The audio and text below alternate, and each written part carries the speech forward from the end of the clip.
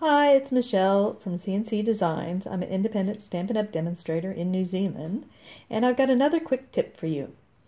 Make sure that you don't adhere your cardstock until after you've stamped it. The reason for that is every piece of card has two sides. There's the good side and there's the oopsie side.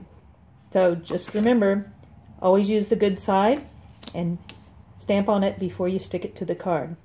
Thanks for watching, and if you've enjoyed my tip, give me a thumbs up, as well as a comment, and subscribe for more tips coming your way soon. Thanks so much. Bye-bye.